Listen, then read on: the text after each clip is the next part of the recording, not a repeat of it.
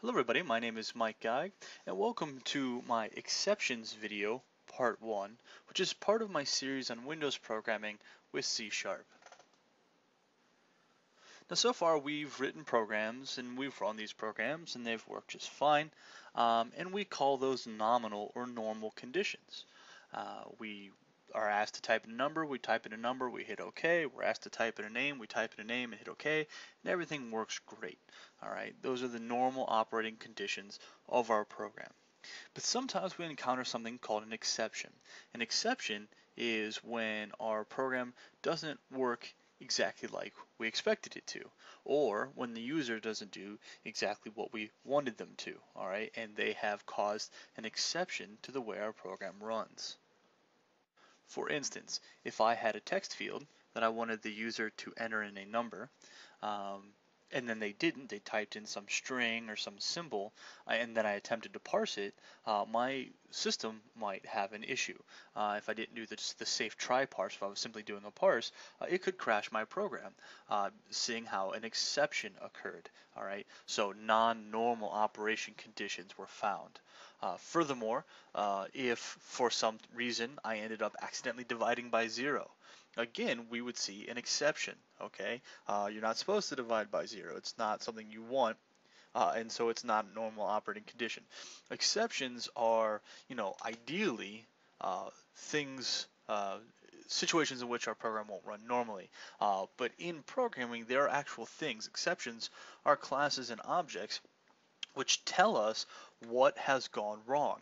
Uh, so a term or, or, the way I might say it is if something happens in my program, I might throw an exception, or I might write code to safely catch an exception.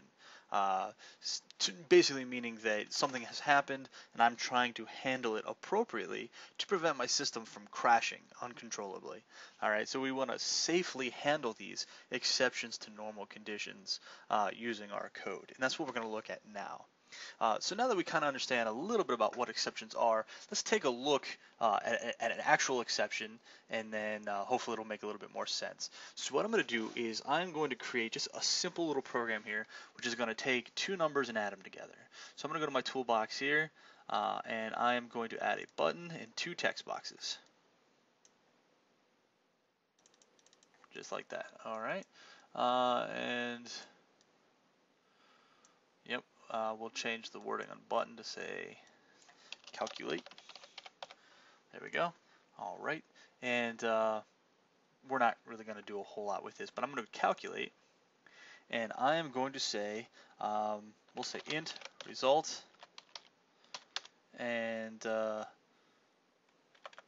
and actually I want to do int num1 equals int 32 dot parse textbox1 dot text. And I want to do int num2 equals int32 dot parse.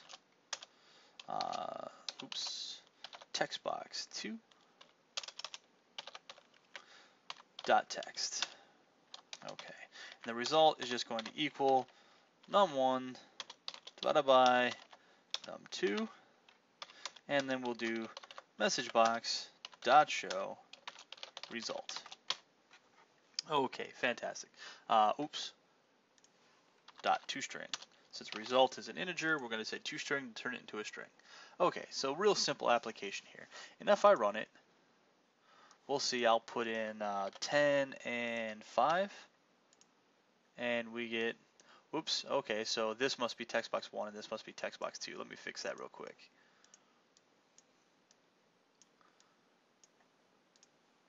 Unless I got them backwards. So we'll go 10 and 5. And we see 2. Alright, fantastic. So our program works nominally under those conditions. Alright, we did what we were supposed to do. But now let's pretend that we didn't do something we what we were supposed to do. I'm going to put an A instead of an integer. I'm going to hit calculate, and my program's going to crash. Alright, and more specifically, we can see that we got an exception. Even the word exception is used. A format exception was unhandled all right, input string was not in a correct format. Okay, what that means is that an exception occurred in our program and we didn't do anything to handle it properly. as a result, our program stopped. It was like, hey, an exception happened, nothing nothing caught it. We don't know what to do. We're going to stop to prevent us from doing any more harm corrupting data. Uh, in these little programs that's not really a concern but if you have to imagine in large scale uh, applications where there's a lot of data and, personal information and financial data and you know you don't want to accidentally destroy all that, so uh, programs will stop as opposed to just continuing on uh, in an environment where there's an exception. So no exception was caught here, uh, and so the program just shut down. So let's go ahead and uh, stop that. Let's run it again. That was a format exception.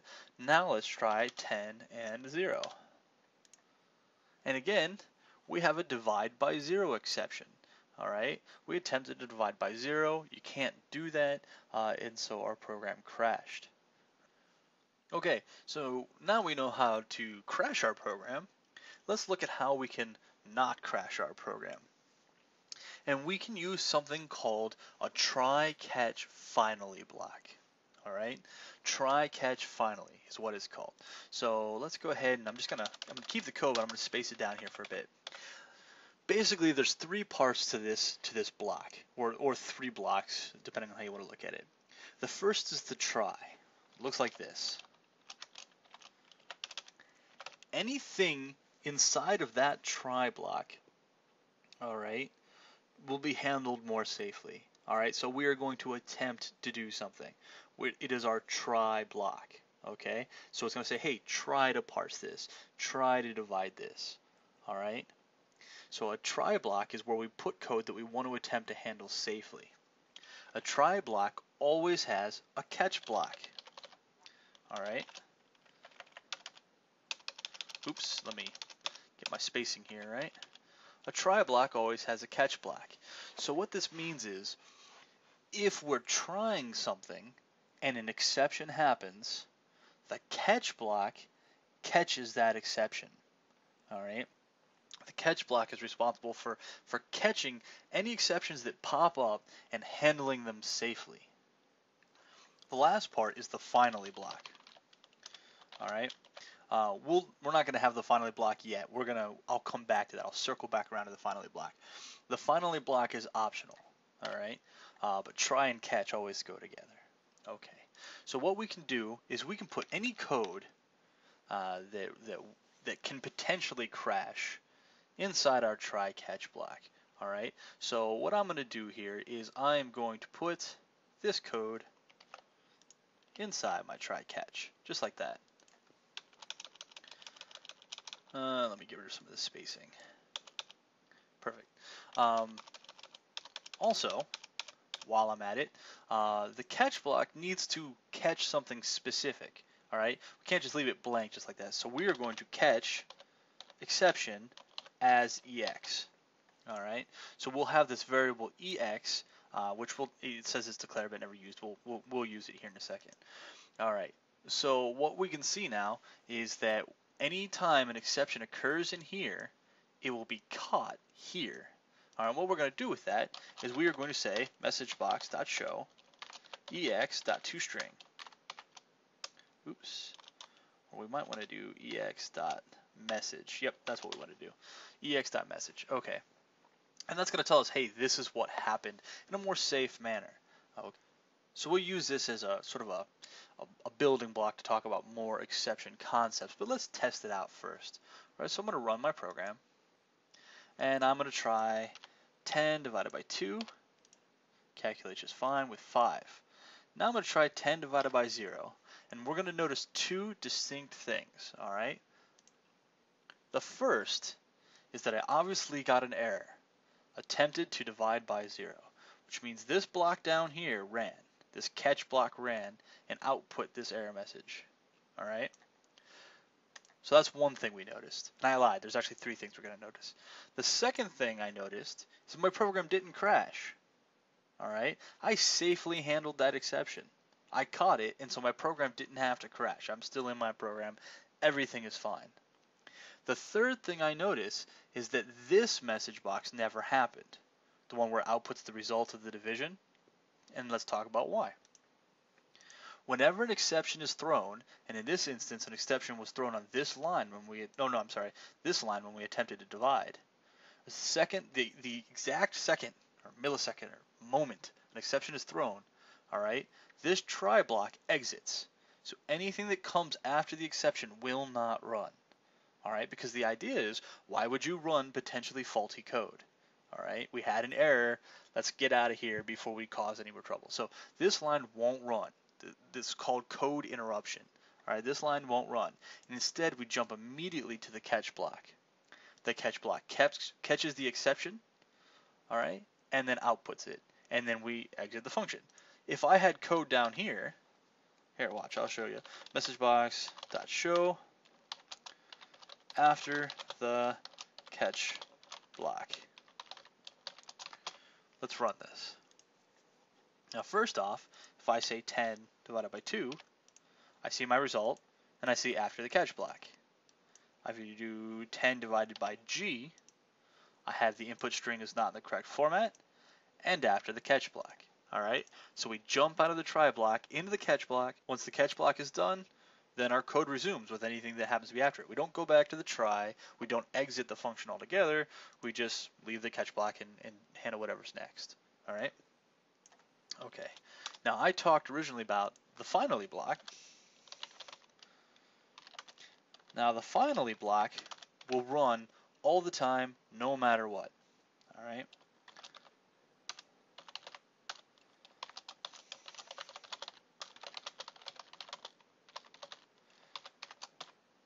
Now the finally block is important. Um, in instances where you're handling things like dynamic memory, uh, database or flat file connections, all right, where you just want to kind of clean up what's going on. All right, so the finally block will run uh, whether or not an exception happened. Now you might wonder, think to yourself, well, why not just put that code down after the catch block? All right, and you can, but sometimes there's an exception so extreme that you have no no choice but to, to exit out of this function and that code won't run. All right. The finally block always runs. Okay. It, it runs whether or not it runs if there was an exception, and it runs if there wasn't an exception, and it runs if you're attempting to exit the block. The finally block is the place that you want to put uh, your your cleanup code to make sure your connections are closed, dynamic dynamically allocated memory was deallocated, um, just to keep things clean. We don't use the finally block in this class all that much. Uh, probably not at all. Um, we don't do a whole lot of dynamic allocations and stuff like that. Maybe when we get to databasing and stuff, but not not really a whole lot. So the finally block is not one we have to have, but we'll see it run. I'll hit play here, and I'll just I'll generate an error. Input string was not correct form inside the finally block, and I'll run it correctly. I get a number, and inside the finally block. Alright, so the finally block always runs there. There's one more concept I want to talk about with the try catch block. I'm going to go ahead and get rid of finally here because we don't need it. And that's the issue of scope. Alright, so for instance, let's say whether this was successful or not, I still want to have this message box.